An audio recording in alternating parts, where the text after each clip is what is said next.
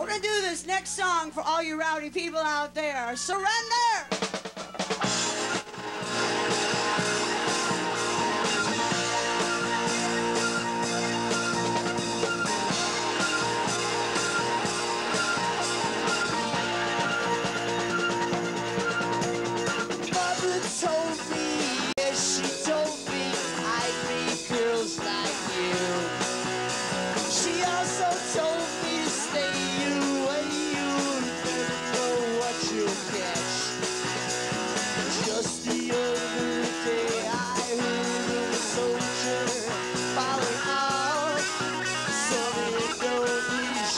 show.